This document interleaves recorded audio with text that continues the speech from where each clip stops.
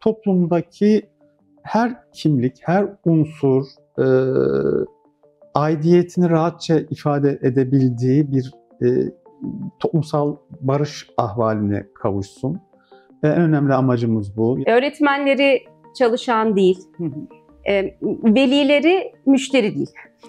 Bir Bayat Okulları Evet. topluluğundan söz ediyoruz. Ve bu topluluk içerisinde de Ama Hem- öğrenciler öğrenci. öğrenciler öğrenci, İnsanların taksitle ödeyebileceği bir modelle tasarlıyoruz. Yani 10 taksitte çocuklarının Faizsiz bir faizsiz, vade farkı olmadan 10 taksitle ödeyebileceği bir model istiyoruz.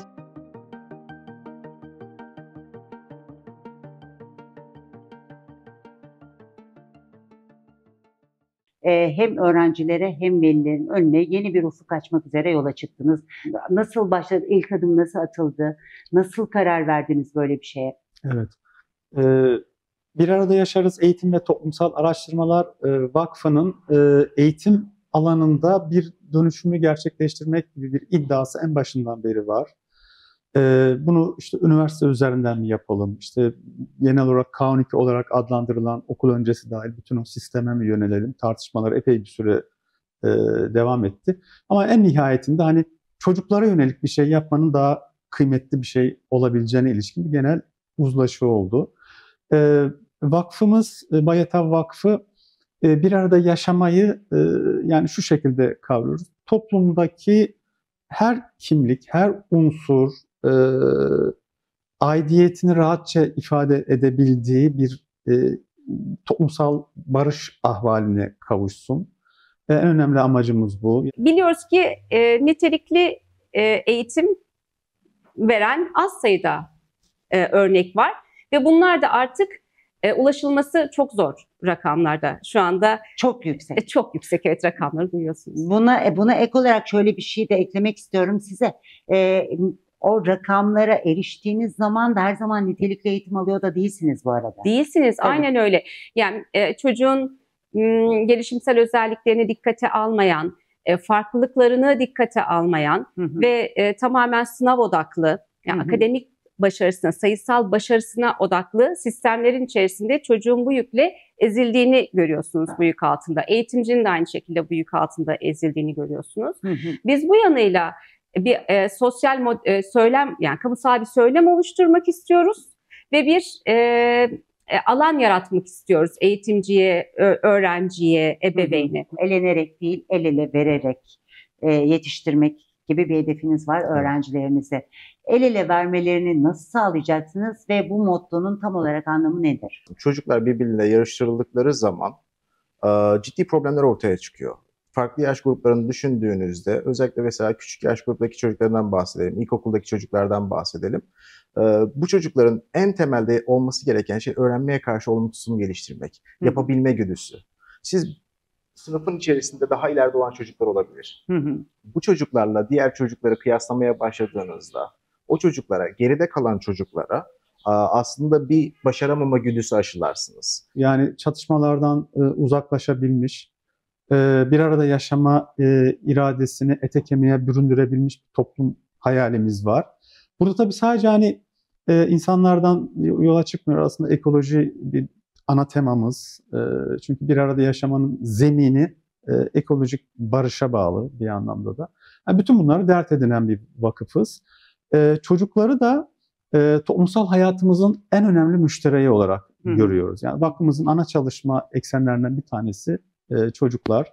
E, ve çocuk deyince de elbette eğitim, sağlık hepsi e, bir arada ele almak e, gerekiyor. Kurmaya çabaladığımız e, eğitim sistemi e, içerisinde bir, bir, bir model olabilir miyiz? Aslında tam da hedefimiz bu. Hı hı. E, nasıl bir model?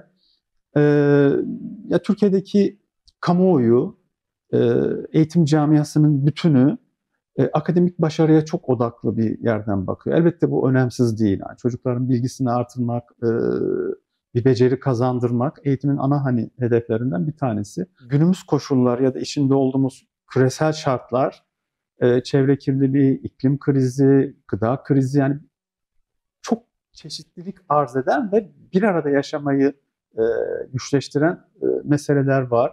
Bir eğitimci olarak da çok derinden hissediyordum. E, dolayısıyla bizim için e, bir nefes alma alanı, bir yaşam alanı olacak Bayatav okulları. Bu okulun e, farklılaştıran şey kurucusu, kurucuları patron değil, Evet. öğretmenleri çalışan değil, Hı hı. e, velileri müşteri değil. Bir Bayatav okulları Evet. topluluğundan söz ediyoruz. Ve bu topluluk içerisinde de Ama öğrenciler öğrenci. öğrenciler öğrenci Evet. ve öğrenciler de e, farklılıklarıyla gelişimsel özelliklerinin görüldüğü ve kendilerine alan açılan bir e, eğitim ortamının içinde olacaklar. Koşturulmayan, 5 dakikalık teneffüslerde sadece su içmeye zaman bulan, koşan çocuklar değil, e, kendi istedikleri e, akademik yani ders dışı saatlerde kendilerinin yapılandırılmış oldukları zaman dilimlerini yaşıyor olacaklar. Bu yanıyla şeyden söz edebiliriz. Aslında biz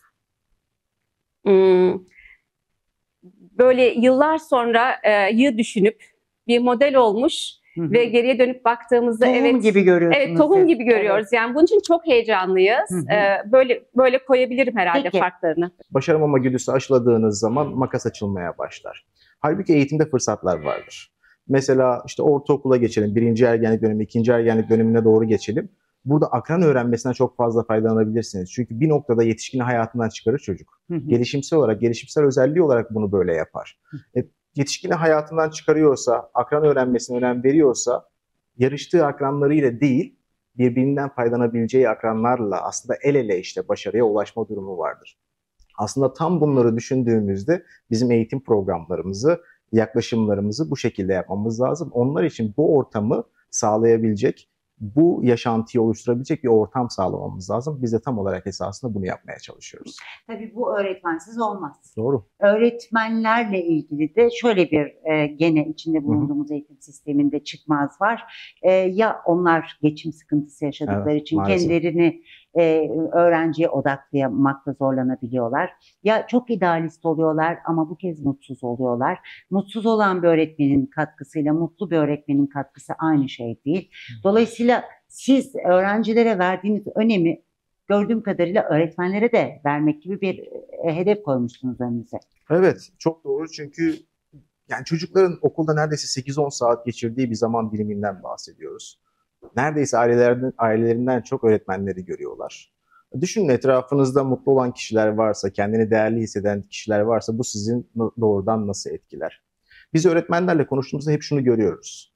Öğretmenlerde aslında iki kavram bizim karşımıza çıkıyor. Bir merhamet yorgunluğu var. İşte kendi sınıfının içerisinde didelenen, bir şeyleri iyi yapmaya çalışan ama yan sınıfta ne olduğunu bilmeyen, hatta orada kötü şeyler olduğunu bilen, çocukların faydalanmadığı bir ortamlar olduğunu bilen öğretmenler var. Bir de gizli istifa etmiş öğretmenler var. İşe Gizli gidip, istifa. Çok evet evet işe gidip geliyorlar ama işte sistem içerisinde değerli olmadıklarını biliyorlar. Yeteri kadar para kazanmadıklarını biliyorlar. Kendilerini güvende hissetmiyorlar. Bu öğretmenler sadece artık gidip geliyor işe. Dolayısıyla böyle bir ortam düşündüğünüzde bu pozitif bir ortam değildir. Öğrenmeyi teşvik edici bir ortam değildir. Bunun birinci koşulu ne? Öğretmenlerin mutlu ve değerli olması. Öğretmenlerin mümkün olduğunca sıfıra hiçbir zaman indirilemez ama diğer yaşamsal kaygılarından uzaklaşması lazım. Öğretmenlerin iyi maaş alması lazım. Öğretmenler iyi maaşı aldığı zaman işte ek işler yapma, ek derslere gitme gibi kaygıları olmaz. O zaman işte kendilerini gerçek anlamda öğrencilere verebilirler. Ve e, çocuklar bu meselelerden en fazla zarar gören e, toplumsal kesimi oluşturuyor. Şimdi toplumsal kesim dediğimde e, genel algı işte yetişkinlerin bir küçük örneği ya da küçük yetişkinler gibi görme eğilimi çocuklarda. Oysa bu bakış açısı son derece problemli. Çocuk çocukluğunu yaşasın. Yaşasın yani e, en önemli hani şeylerden bir tanesi bu. Ama bunu yaparken yani iyi bir eğitim alırken, sağlıklı bir büyüme imkanı ya da gelişme imkanına kavuşurken çocuk haklarını da dikkate alan bir perspektiften yani çocuğu aşırı örselemeden ya da sadece e, gelişim dediğimiz süreci akademik başarıya odaklamadan, daraltmadan bir hani sistem inşa edilebilir mi? Biraz bunu hani dert edinen bir vakıfız. Önümüzdeki e, eğitim öğretim yılında okul kapılarını açacak öğrencilere e, anaokulundan başlayarak liseye kadar uzanan bir e, geniş yelpaze var. O geniş bir yelpazede eğitim vermeyi hedefliyorsunuz. E, kaç e, kişilik sınıflar olacak? E, kaç öğrenci alacaksınız? Öğrencide bir sınır olacak mı ilk etapta? Şöyle, e, şundan söz et- etmek istiyorum öncelikle. Bu, sorduğunuz bütün soruların cevabını bir kolektif belirledi. Yani içerisinde eğitimcilerin olduğu, kurucuların, vakıftan insanların da olduğu, herkesin bir araya gelip mimari tasarımından içeriğine kadar fikirler verdiği, tartıştığı e, bir ortam yarattık. Çok uzun süren toplantılarımız oldu. Bu e, beyin fırtınası yaptığımız, hayallerimizi ortaya koyduğumuz toplantıların sonucunda çıkan şeyler. Hep size vereceğim cevaplar. Bunu önce bir baştan söylemek istedim. E, sınıflarda şöyle olacak. Her seviyede e, yani okul öncesinde ilkokulda, ortaokulda da 5 ve 6. sınıfta üçer sınıf açılacak. Hı hı. 7 ve 8'de birer sınıfımız olacak. 9. sınıfta 4 sınıfımız olacak. 7, 8 ve 9'daki bu sınıf dengesinin sebebi lisenin e, bu yıl kampüsümüz yani önümüzdeki yıl kampüsümüzde misafir olması. Hı. Sonraki yıl Bornova'da liseler kampüsümüze geçecek onlar. Bu nedenle orada böyle sınıf e, sayısı değişiyor. Hı hı. Sınıflar kaç kişilik olacak? Ee, öğ- öğretmenlerimize sorduk. Sınıf kaç kişi olsa sınıftaki İdeal olur. e, ideal olur. Yani sınıftaki öğrenme ortamının e, ideal sayısı kaçtır dedik. 20'nin altına düşmesin dediler. Çünkü grupları ayırmak istiyoruz, tartıştırmak istiyoruz çocukları. Hep dinamik ve e, interaktif ortamda olacağız. 20'nin altına düşmesin. 26'nın da üstüne çıkmasın dediler. Biz 24'ye bir ortalama belirledik. Aslında bunlar e, birçok okul tabii sınıfının metrekaresine göre Milli Eğitim bir e, sayı veriyor Hı hı. e, ruhsat alırken. Buna göre belirleniyor. Bizim burada hedeflerimiz var. Biz aslında belki buradan okulun genel fiyat politikasına da geçmek lazım. Biz e, şunu hedefliyoruz. Orta ve orta alt gelirin erişebileceği e, okul ücretleri hedefliyoruz. Yani esasında nihai hedefimiz bir işçi çiftin biraz fedakarlıkla çocuklarını gönderebileceği bir okul olsun istiyoruz bu. Ee, öğretmenlerin de en az devletlikler kadar aldığı öğretmenler olsun istiyoruz. Çünkü biliyorsunuz şu an özel okuldaki bazı maaşlar asgari ücretten hallice gerçekten. Öğretmenlik mesleğinin ülkemizde ne kadar artık saygınlığını yitirdiğini de düşündüğümüz zaman e, saygınlığını yitirmiş bir meslek maddi olarak tatmin etmiyor. Öğretmenden performans olarak ne bekliyorsunuz? Biz şu anda geldiğimiz noktada şeyi sağladığımızı düşünüyoruz. Aa, Orta sınıftaki velilerin çocuklarını gönderebileceğini bir okul yaptığını sağladığımızı düşünüyoruz. Çünkü okul ücretlerimiz e, kademelerle birlikte değişiklik göstermekle birlikte e, işte 105 bin lirayla 130 bin lira arasında değişiyor ve biz bunu işte peşin ödeme gibi kaygılarımız yok. İnsanların taksitle ödeyebileceği bir modelle tasarlıyoruz. Yani 10 taksitte çocuklarının Faizsiz bir on faizsiz, taksitten vade farkı olmadan 10 taksit ödeyebileceği bir model istiyoruz. Çünkü diyoruz ya aklımızda insanların kazandığı gelirler var. Bir insan normal şartlarda hane gelirinin ne kadarını eğitime ayırabilir? Evet birazcık fedakarlık yapması gerekebilir ama en azından belki bu işte %25-30'lara düşerse hayatının diğer alanlarına da zaman kalır. Hı hı. Ee, Oradaki stresleri de azalır. Dolayısıyla aslında eğitime yatırım yaptığını düşünerek çocuğa çocuğun üzerinde oluşturabileceği olası baskının önüne geçmiş oluruz biz. Biz nihai hedeflerimiz olarak tam olarak bunu hedefliyoruz. Eğitimin maliyetini olabildiği kadar hani aşağı çekmek e, ana e- hedeflerimizden bir tanesi ve bu maliyetin e, dörtte üçünü öğretmen e, giderleri oluşturuyor. Geriye kalan e, dörtte birlik kesim genel masraflar ve gıda, beslenme. Tam e, da ona gelecektim. Evet. Gıda, beslenme deyince de e, Bülent Şık geliyor akla. E, bu noktada e, e, siz e, ayrıca elinizi taşın altına koyuyorsunuz. hı hı. E, nasıl bir fonksiyonunuz olacak bu noktada? Evet. Şimdi çocuk sağlığı anne karnından başlayıp ergen yaşlara kadar uzanan dönemde olağanüstü önemli. Türkiye'deki eğitim sistemi çocukların akademik başarısına çok odaklı bir sistem ve ben bunu çok problemli buluyorum. Zaten yazıyorum, çiziyorum bu konuda da hani çeşitli görüşler beyan ediyorum. Ee, kurduğumuz sistemde çocukların sağlığını korumayı, kollamayı bir ana hedef olarak belirledik. Tabii ki iyi eğitim o zaten temelde. Ee, peki nasıl yapacağız bunu?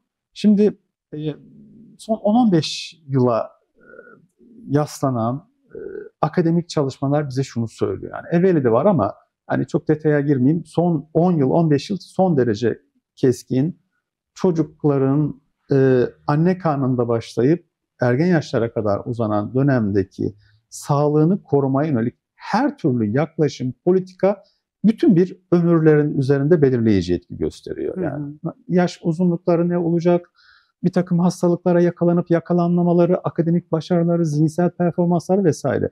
Şimdi burada belirleyici etkenler ne? Ee, okul veya kreş fark etmez. Çocuklar e, bu ortamlarda bir yıl içerisinde 180-200 gibi bir gün sayısıyla bu ortamlarda zamanlarını geçiriyorlar. Dolayısıyla bu ortamlardaki temas içerisindeki oldukları madde malzemeler, her türlü e, eşya, donanım, tamamı. materyal, Tabii. soldukları hava, suya erişimleri olup olmadığı, beslenme şartları son derece önem taşıyor. Ee, mesela kapalı mekanlarda e, dahili ortam havasının yani solunan havanın e, temizliği bir büyük mesele olarak görülmeli. Yani Türkiye'de bu konudaki yaklaşım, genel olarak yaklaşım çok hani incelediğim bir konu olduğu için söylüyorum. Hmm, Mesele bile değil bu açık söylemek gerekirse. Çocukların e, suya erişimlerinin e, olması ama e, gerçekten toksik madde yükünden arındırılmış bir suya erişimlerinin sağlanması çok önemli ve e, okulda hani bütün bu konuştuğumuz şeyleri işte suya erişim, toksik madde yükünün azaltan filtre sistemlerinin kurulması, ortam havalandırmasının nitelikli ve iyi olması, e, gıdaya erişiminin sağlanması. Yani bütün e, bunları bir bütünlük içerisinde ele alıyoruz bu konuları. E, kendi mutfağımız var ve bunu çok önemsiyorum ben. E, e, okulda çocuklar bir öğün, sağlıklı bir öğüne ulaşabilmeleri. Şimdi burada tabii bunların hepsinin bir kamusal hak olduğunu çok farkındayız. Ama öte taraftan da şunu vakıf olarak e, göstermek gibi bir derdimiz var. Ya bakın aslında toksik kimyasal madde yükünden arındırılmış bir filtre sistemiyle çocukların e, kolayca suya erişebildikleri bir sistem kurmak böyle yapılabiliyor. Peki öğrencileri e, diğer okullardan ayıran ne olacak? Nasıl bir eğitim alacaklar? Okulunuzdan mezun olduklarında diğer öğrencilerden farkları ne olacak? Yani bizim e, aslında birkaç şeyimiz var, iddiamız var. Bunlardan bir tanesi öğrencilerimizin düşünme becerileri konusunda e, yetkinleşmeleri, soran, sorgulayan çocuklar olmaları.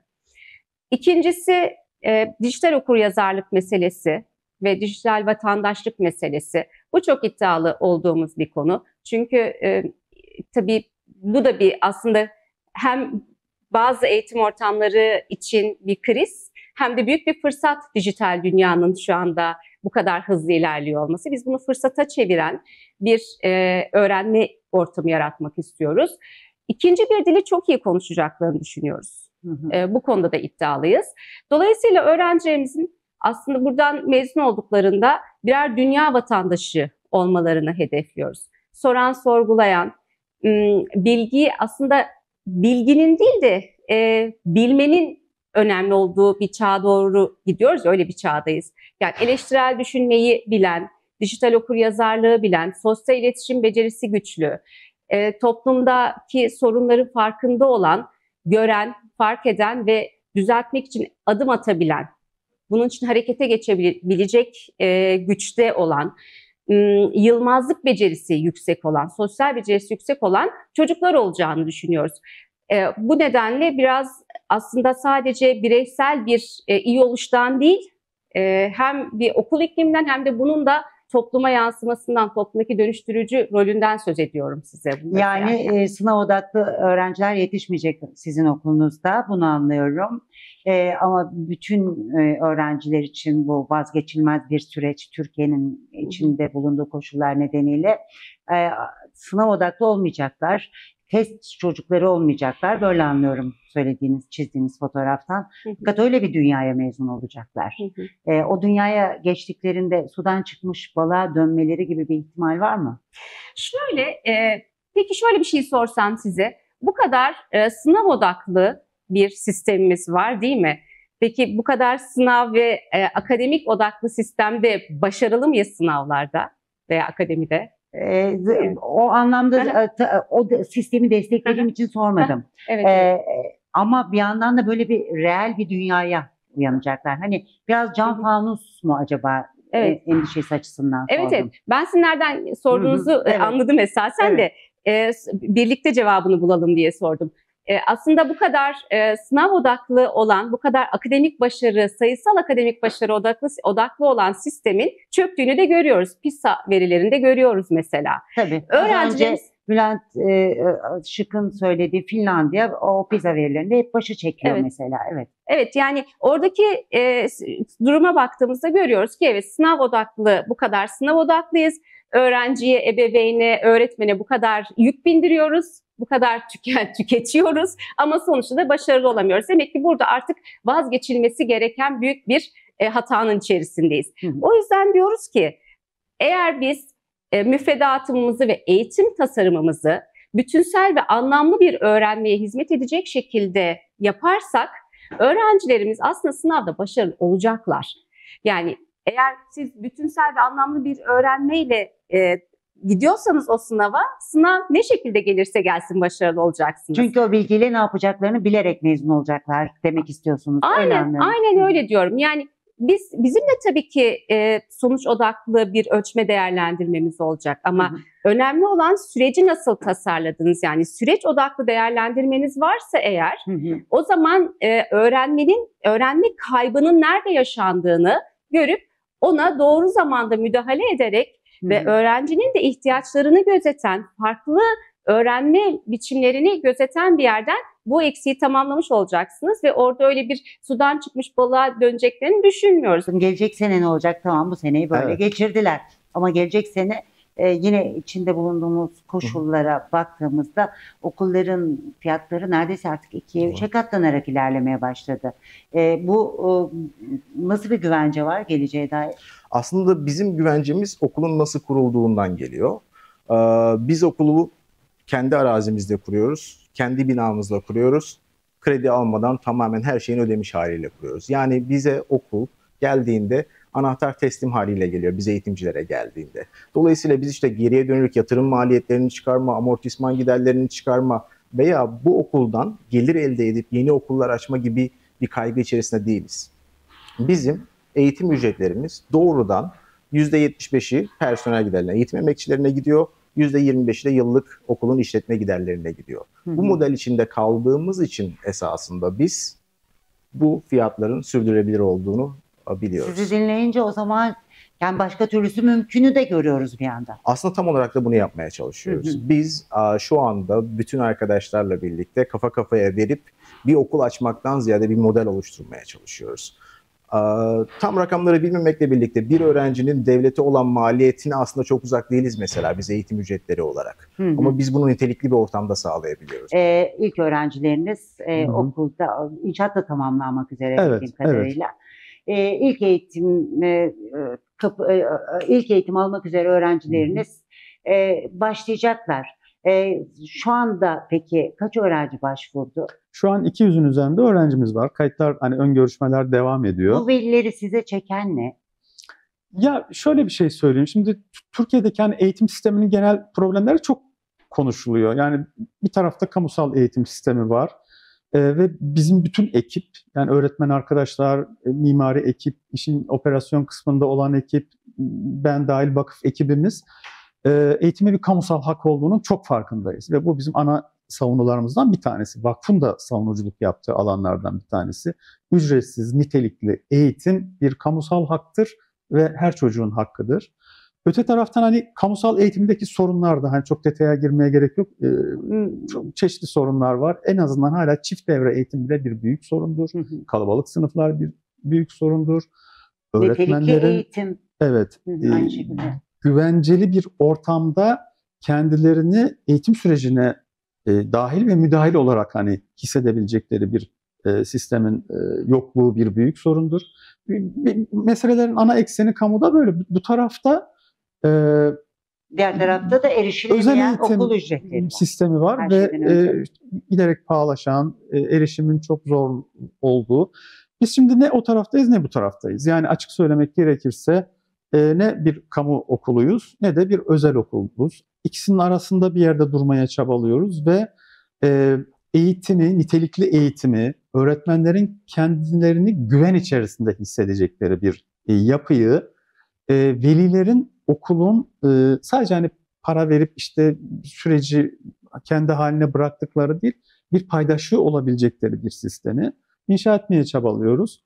Ee, kar etmek gibi bir niyetimiz kesinlikle yok. Yani bu, bunu rahatlıkla söyleyebilirim. Bu akademik e, başarı, sayısal başarı odaklı sisteme baktığımızda çocukların birbiriyle yarışması mesela, e, öğretmenlerin buna yetişemiyor olması. Biz o yüzden motto olarak e, biliyorsunuz şeyi söylüyoruz. Elenerek değil, el ele vererek ilerleyen El ele vererek. çocuklar evet, diyoruz. Bu da dikkatimi çekti tanıtımlarınızda. Bu çok sevdiğimiz bir Evet. motto bizim. Ee, oradan hem e, bunu söylemek istiyorum hem de e, buradaki işte o farklılıklarıyla yan yana durma meselesi de burada e, önemli olacak. Yani birbirlerini her anlamda yani akademik olarak öğrenme e, düzeylerinin şekillerinin farklı olması, akran öğrenmesinin e, kullanılması vesaire yani bir arada olabilmenin vakfımızın da e, ideali olan beraber yaşayabiliriz'i de aslında her anlamda ürettiğimiz ve çoğalttığımız bir yer olacak. Yani biz aslında şunu hayal ediyoruz ve bunun olabileceğini görüyoruz. İşte biz burada Bayatov okulları olarak bir model geliştireceğiz. Sadece eğitim niteliği anlamında değil, finansal sürdürülebilirlik anlamında da ciddi bir model geliştireceğiz. Ve bu model ülkenin birçok yerinde kendi kendini tekrar edebilecek. Hı Bizi aslında bir araya getiren şey bu. Biz eğitimdeki bu problemi görüyoruz. Nitelikli eğitime erişme noktasında insanların ne kadar sıkıntı yaşadığını görüyoruz. Ve buradaki herkesin hayatını değiştiren şey eğitim. Birçok açıdan eğitim hem Hı de. hı. Aa, bu fırsatı bu fırsata insanlar erişebilsin istiyoruz. Bizim yapmaya çalıştığımız şey tam olarak bu. Yani bu alanlarda biraz model olma iddiamız var. Hı hı. Tabii elbette hani e, eğitim, Türkiye'de bir örneği var mı bunların? e, bu bütünlük içinde ele alan bir yer olduğunu düşünmüyorum açıkçası. Avrupa'da var mı? E, ya çeşitli ülkelerde var. E, yani Finlandiya'da ama mesela Finlandiya'daki sistem çocuklara olabildiğince açık havada hani e, eğitimini sağlamak Hı hı. üzerine e, kurulu. Ha, çok detaya girme e, e, e, zaman açısından problemli. E, yani şunu söylemeye çabalıyorum. E, evet nitelikli eğitim her çocuğun hakkı ama bir tarafta e, bunu sağlamaktan giderek uzaklaşan bir e, kamusal eğitim sistemi var. Diğer tarafta da özel eğitim kurumları var ve orada da işte ücretler, e, fiyat politikaları açısından bir başka büyük mesele var. Ya biz arada e, insanların bütçesini zorlamadan eğitime bir paydaş olarak katılabilecekleri ve çocukların hem iyi eğitim aldıkları hem sağlıklarının korunup kollandığı ki burada biz aile mutfağına kadar uzanan bir sistem aslında e, yapmaya çabalıyoruz. E, öte taraftan da tabii hiç atlamamak gerekir.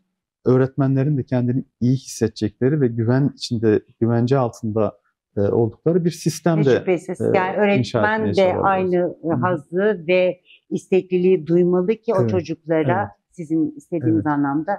Yaklaşabilsin. Çok önemli. Çok teşekkürler. Ben teşekkür ederim. Çok sağ olun.